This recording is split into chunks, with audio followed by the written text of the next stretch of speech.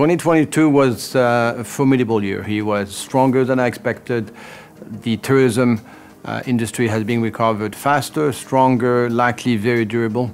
Uh, leisure is back, stronger than 2019. Pricing is to our advantage. Uh, anything which is domestic, whether it is business leisure, intra-regional, less than four hours away, is stronger than 2019. The only piece missing has been the international business affair, still lagging probably by 20%. And we didn't have the benefit of China reopening, so we're probably going to have an even better year for 2023.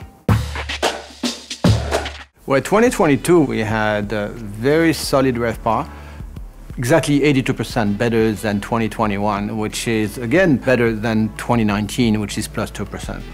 Sales, almost the same number, plus 80%. It's above 4.2 billion euros, uh, which is a remarkable number for 2022, better than pre-pandemic in 2019. And then you have the net profit, which is a bit more than 400 million, which is well, well above the uh, very marginal profit we had in 2021. Then it comes to brand and growth, which is really the metric that I guess we live by, which is the numbers of hotels we're capable of not only opening, but seducing owners with the quality of our brands and distribution. And guess what? We've opened 300 hotels uh, in 2022, which is a, a, big number in a difficult environment. And what pleases me the most is that we have well above 1,200 hotels to be open in the next two to three years. And this is being done over 120 countries and with a very fast expansion uh, coming in Europe where we've been slow uh, over the last few years. So good metrics on financial, good metrics on growth, very strong brands and probably the brand of choice for many owners on this planet.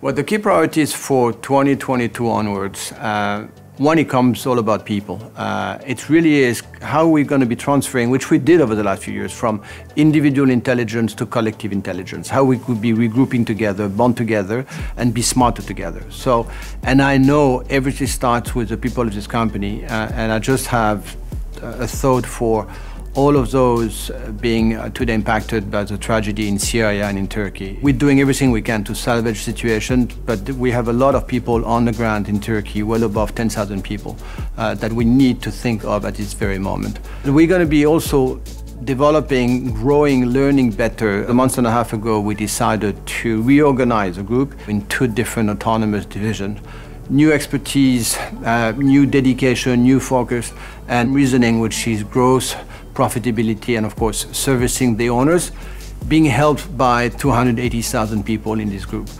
which gets me into a different subject, but very much attached to it, which is sustainability. You know how focused we have been over the last few years, actually the last 20 years, on trying to really respond to environment, climate, trying to reduce carbon emissions. We've been remediating and putting away all the individual plastic. We need to do more, but we need to think very easily about how could we contribute more. So it's all a question of mindset, it's a question of methodology, it's a question of vision, ambitions, and delivering. It, of course, includes diversity, inclusion, child protection. It's a very vast uh, thematic, but believe me, we are good at it, we are leader, we're pioneer, and we're sharing good practices with our peers. And the rest is, of course, trying to grow faster, even faster than we did over the last few years.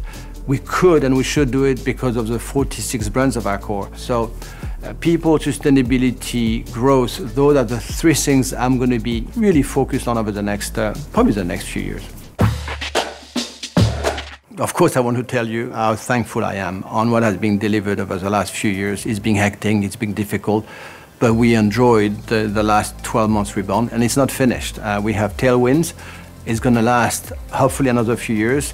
We are at our best in terms of organization, in terms of brand, in terms of people, in terms of vision. We know what we have to accomplish. We know we can accomplish it. And I'm so glad that I guess we're doing it together. So looking forward for 2023 being better than 2022. And guess what? 2024 will be better than 2023. So we are on the run. Let's not waste it. Let's basically enjoy it and let's battle together. I love you all. Bye bye. Accor. Powered by emotion.